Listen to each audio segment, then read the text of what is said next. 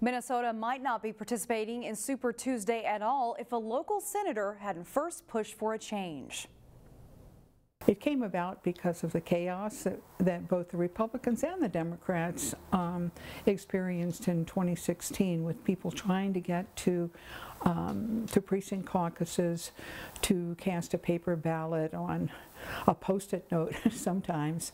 Senator Ann Rest authored the bill that changed Minnesota from a caucus to a primary system. She's also trying to get a bill passed which would keep voter party affiliations private. That is having less success.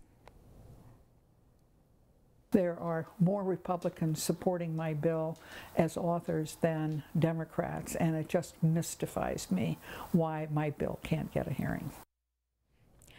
Rest says she is hopeful the lack of voter privacy in this primary won't keep too many people at home, as the caucus system wasn't private either.